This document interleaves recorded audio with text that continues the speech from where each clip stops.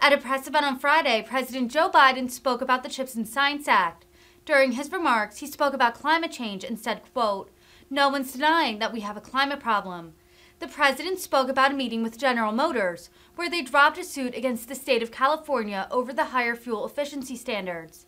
The president then misspoke, saying that General Motors would have their cars be all electric by 3035, a full thousand years after GM's actual announcement of selling all electric cars by 2035.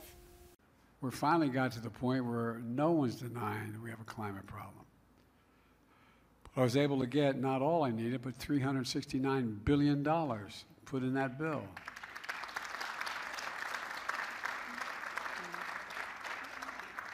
And we had, I think the guys were with me, uh, the Congress were with me when I had, I invited the CEOs of the auto companies to the White House lawn in the back, you know, behind the White House.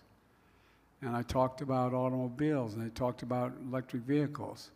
At the time, Amy Barr uh, was uh, Barra, Chairman Barra of General Motors, was suing the state of California because you had a higher standard for emissions than the rest of the country, and they said they couldn't do that. Well, she left that meeting and she dropped the suit.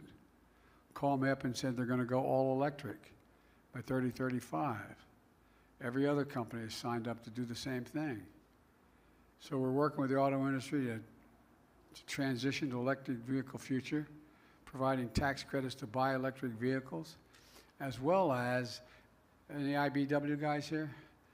Well, guess what? You guys are going to install 50, excuse me, 500,000 charging stations around the country. So it's going to be, you know, that's like 500,000 gas stations. Not a joke. 500,000. Because people are going to say, I'm not buying a vehicle because it can only take me X number of miles. And by the way, we're investing billions of dollars, and many of you are investing billions of dollars in battery technology. We're now changing the nature of the, the life of a battery.